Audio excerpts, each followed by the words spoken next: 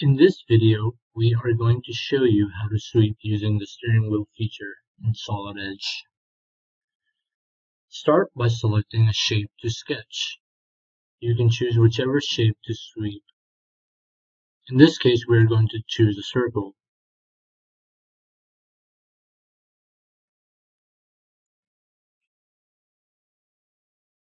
Simply extrude the shape by clicking and dragging on the arrow.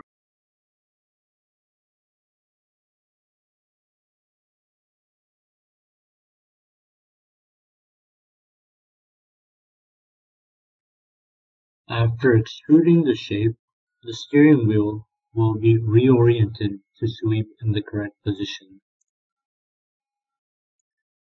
Press Shift and click inside the steering wheel to reorient the steering wheel. Repeat this again to orient in different position.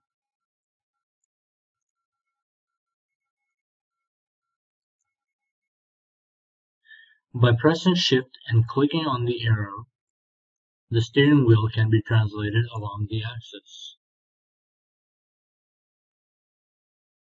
Next, the lift option from the drop-down menu will need to be selected which enables the sweep feature. By simply clicking on the steering wheel, sweep feature can be applied to the model. The user can select how much to sweep by simply dragging or by typing in the angle.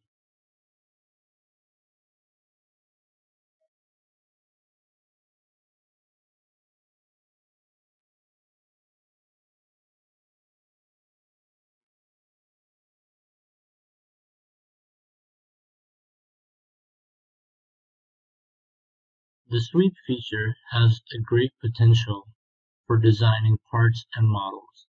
One example is the paperclip made entirely using sweep from the steering wheel.